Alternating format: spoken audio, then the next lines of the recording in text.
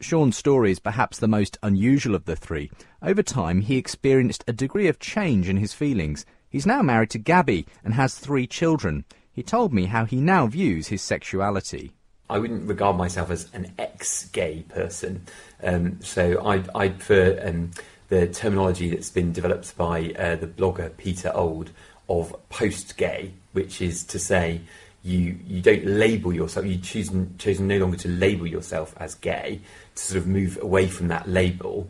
But that doesn't mean necessarily that you're that you that your feelings have all automatically changed. So I've I've clearly experienced some change in my feelings, so that I am attracted to my my wife, um, and so that that's that's definitely happened.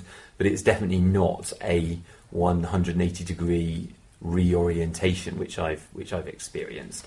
Um, so I'm very I'm grateful to God for the change which I have um, experienced.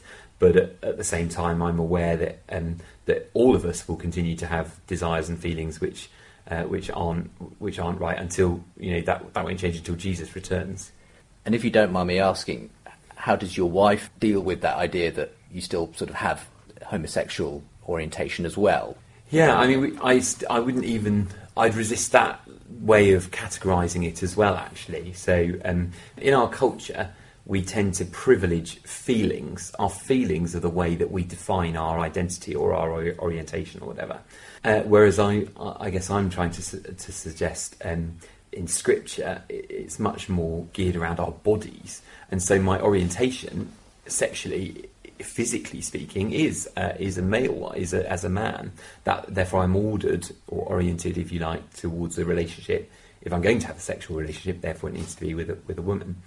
Um, so, I, I, in a sense, it doesn't bother her at, at all. I mean, partly, you know, she's a tough cookie, and you know, therefore, she, she's a special person is able to sort of make her peace with that. But I think it's more fundamental than that, even, which is that all married people experience attractions to people that they're not married to. That's just a you know fact of married life.